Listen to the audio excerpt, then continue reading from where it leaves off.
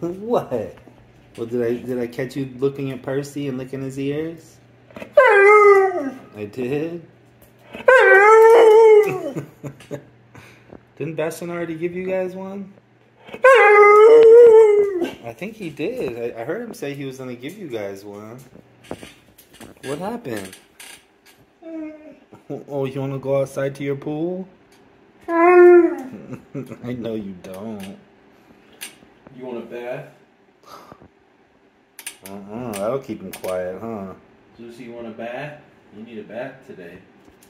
Oh no. What did Sebastian say? Did he really just say that?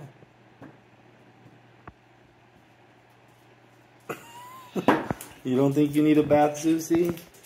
I think you need a bath. No. He says Zeusy's stinky. What do you think, Zeusy? No bath? No bath for Zeusy?